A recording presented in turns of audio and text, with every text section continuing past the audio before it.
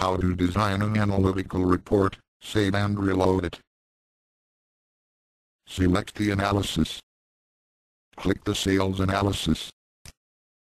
Click sales analysis. Select turnover returns.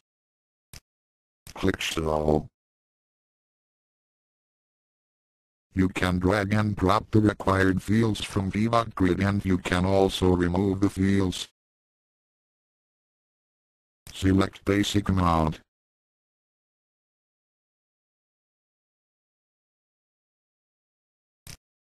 Click Save.